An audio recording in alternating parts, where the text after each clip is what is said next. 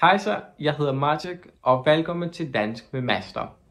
Czyli ja nazywam się Maciek i witam Was serdecznie na Duńskim z Masterem. A w dzisiejszym odcinku zajmiemy się zaimkami względnymi, czyli zaimkami takimi jak som, da, hvis, wo oraz hvilket.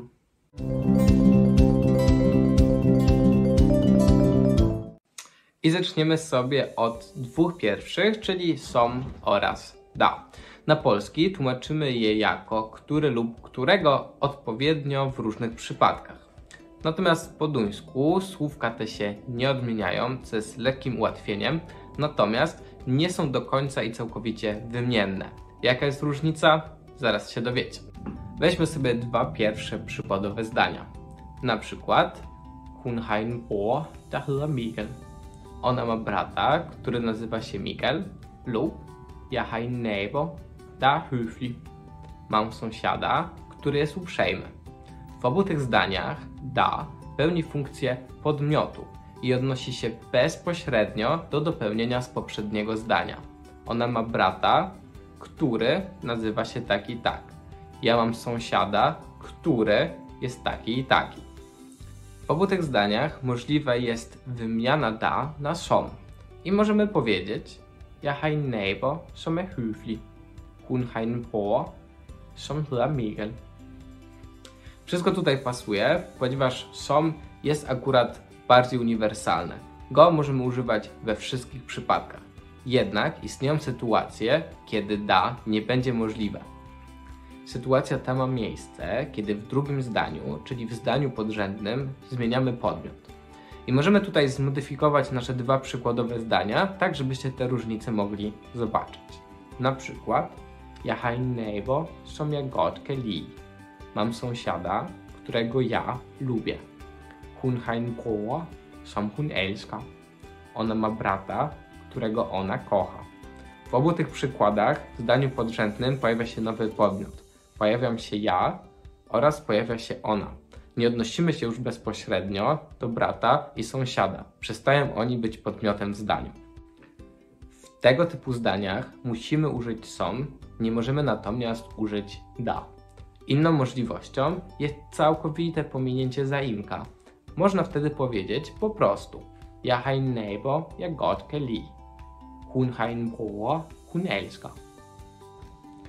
Oczywiście możliwe jest stworzenie zdania, w którym użyjemy obu zaimków.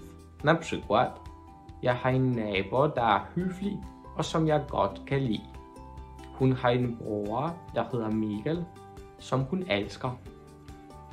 Kolejnym zaimkiem będzie bis, które na polski przetłumaczymy jako którego, której i tak dalej. Przykładowe zdanie Jeg kender en pige, hvis forældre er skilt. Znam dziewczynkę, której rodzice są rozwiedzeni. Lub er mange byer i Danmark, hvis navn jeg ikke udtale. W Danii jest wiele miast, których nazw nie potrafię wymówić. Kolejnym zaimkiem będzie wo, odnoszące się do miejsc lub sytuacji. I tutaj parę przykładów, które może trochę lepiej to wyjaśnią. Na przykład København er en by, hvor jeg gerne vil bo i fremtiden. Kopenhaga jest miastem, w którym czy gdzie chciałbym mieszkać w przyszłości. Albo Collegium er et sted, hvor studerende bor.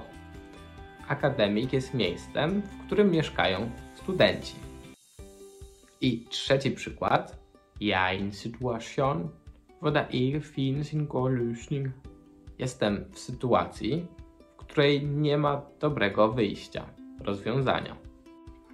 I już ostatni zaimek, mowa tutaj o wilku, który na polski przetłumaczymy najczęściej jako co.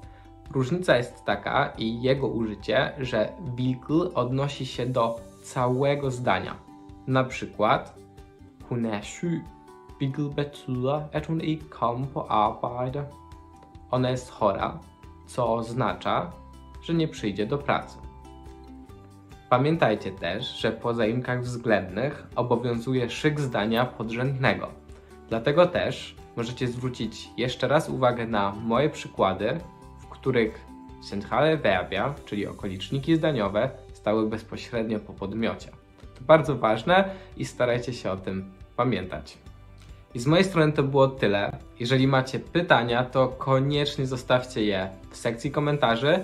Jeżeli Wam się podobało, to dajcie łapkę w górę, a ja serdecznie dziękuję i się żegnam. Tusen tack för jag som uppmärksamhet och vi ses nästa gång. Ha!